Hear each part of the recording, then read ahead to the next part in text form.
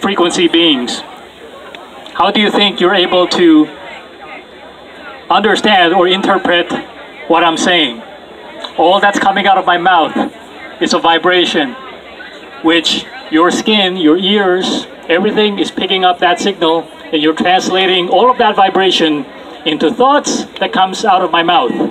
So we're all frequency beings and our skin, that's your biggest antenna.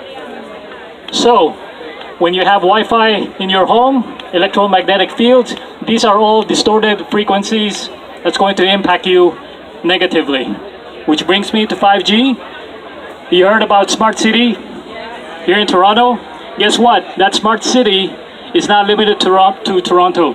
There's also smart cities everywhere in the very city that you live in.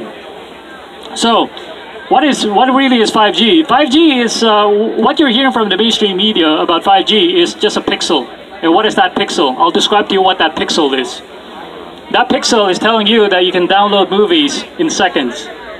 That's the kind of cool cover story that the Black Ops or the CIA would put out. So what people don't know is that there's more to 5G than that. So 5G, in essence, is we're talking about frequency. These frequencies range from, actually from 300 megahertz up to 300 gigahertz.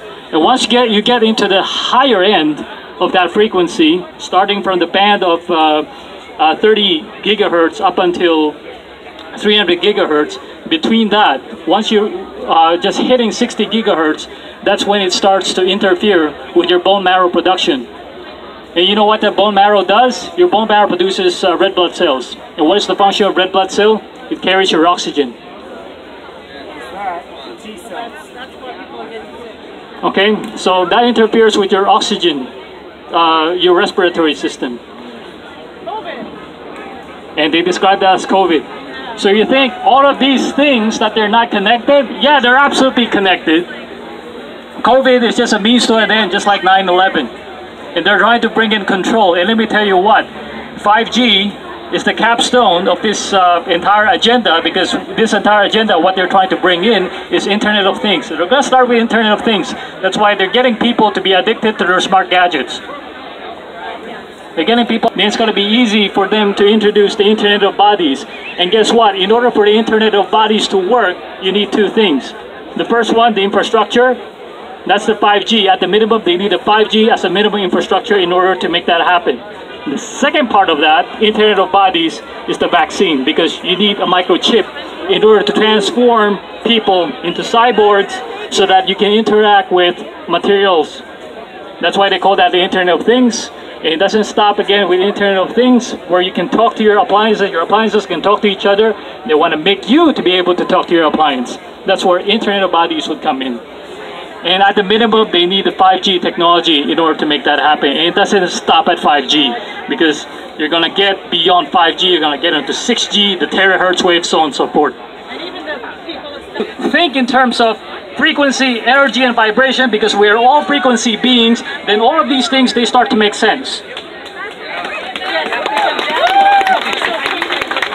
So don't believe your CIA cover story that you can download movies no, why do you need movies? Are you so emotionally bankrupt that you have to constantly entertain yourself with pedo Hollywood movies?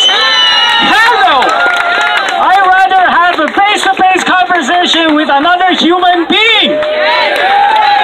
So get out and speak to your neighbors. Your family, starting with your family, and then go out and speak to your neighbors. We're meant to be human beings, we're not cyborgs. So 5G, 6G, remember that. That's another front that they're going to attack us with. They're all addicted to the video gaming. I do have an Acoustimeter with me, and everywhere I go, I measure the radiation. We're being cooked right now. And it's going to get worse. Why? Because they're trying to terraform the earth. To what? To what? These are satanic worshippers. Yeah. These are satanic worshippers and they're terraforming the earth.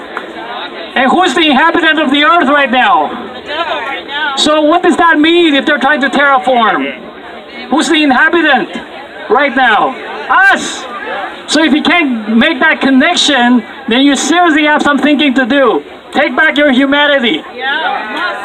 So what can we do about this? We fight with honor. How do we do that? I'm sure I've talked to many, many people in this circle. And people have talked to me and asked me, Will, Will are you part of the Empower movement? I said, no, I'm not part of the Empower movement. However, back in April, I discovered a California-based citizens journalist. Her name is Lena Pu. She fashioned herself as a 5G expert. So I decided to take a look at what she had to say in a 13 minute video. Some of you guys have received my letter, and that's one of the first video that I posted that I shared with everyone that you can see in that letter. Now, I was intrigued by what she had to say. In fact, I was so intrigued enough that I went on further and found that she actually did a lecture back in September in the Silicon Valley Health Institute. And in that lecture, she showed a blood study. She mentioned that she did a blood study, and she showed she shared her findings. And what is her findings? Her finding, her basically that study, that blood study involves uh, taking the blood sample, the blood sample of a